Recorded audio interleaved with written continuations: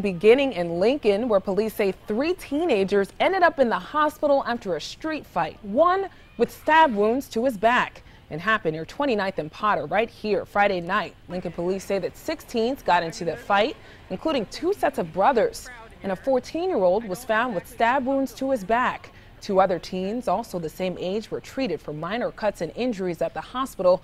Police say they have not made any arrests and do not know what caused this fight.